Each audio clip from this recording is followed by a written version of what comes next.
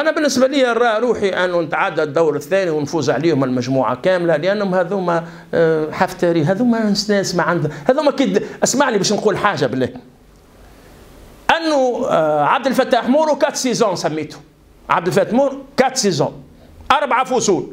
الصباح تلقاه يصلي. في القايلة تلقاه عامل جو فهمتني ولا؟ في العشية تلقاه مع البوذيين في الليل تلقاه ساهر مع شيعي ولا واحد. ولهذا كل مقام تحبوا يدروش يدروش تحبوا يشطح يشطح تحبوا هو أعظم من الهاشمي الحامدي. هل البلاهة هذه وبيعان الكلام هو ما نجحش مع النهضة قداش من سنة؟ توا باش يكذب على الشعب كفاك كذبا يا.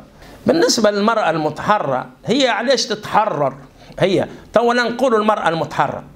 في كل العالم النساء المتحررات متثقفات مخترعات مكتشفات أنهم لهم قيمة في الحياة. هكا ولا؟ علاش إحنا نتحروا في التقليد؟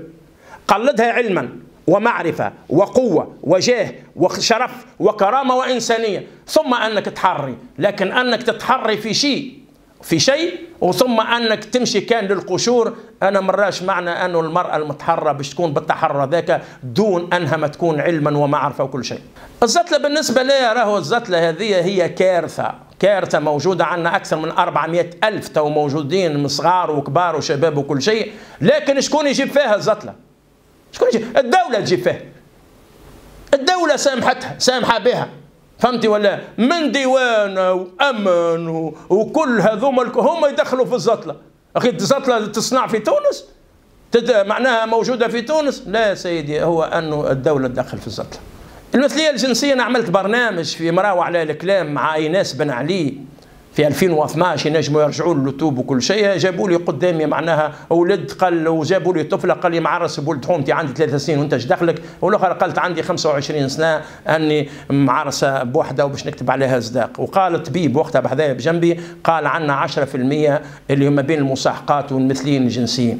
ولهذا رأى هذا مرض وهذا يلزم معالجته تبع فيها ولا إحنا موش باش نرموهم في رمي غير عادي هذوما يلزم علاجهم فهمتي ولا؟ ويلزم توعيتهم وهذا الكل أنا را أنا را هو من العمل نتاع المرأة والرجل اللي المرأة أنه لما تخلي ولدها أو بنتها أو كل شيء للكراش أو تجيب لها بون البون وين كانت عايشه هي.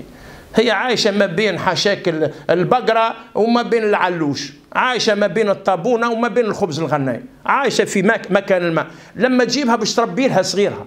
ماذا متربي لها؟ ليش مش تربيه صغيره؟ ولهذا يكون على بحر هواه وكل شيء. أنا الراي اللي هما يلزم يتعالجوا وما لهم إلا مواطنين توانسة. لكن إن شاء الله ربي يشفينا ويشفيهم. المساواة من الميراث هي معناها بالنسبة لنا أنها رب العالمين. هو خالق الخلق ومالك الملك والمبري من كل هلك. قال رب العزة ولقد خلقنا الإنسان من سلالة من طين ثم جعلناه نطفة في قرار مكين ثم خلقنا النطفة علقة فخلقنا العلقة مضغة فخلقنا المضغة عظاما فكسونا العظام لحما ثم أنشأناه خلقا آخر فتبارك الله أحسن الخالقين. ما دام خالق الخلق هو اللي شرع إذا كان نمنوا بالقرآن كمسلمين أن نطبق القرآن. وإذا كان نمنوا الدستور كما قال الباجي الله يرحمه اللي هو الدستور قبل القرآن. نعلم اللي تبع الدستور مآل النار وبئس القرار إذا كان باش يخالف شرع الله وأنا مع شرع الله.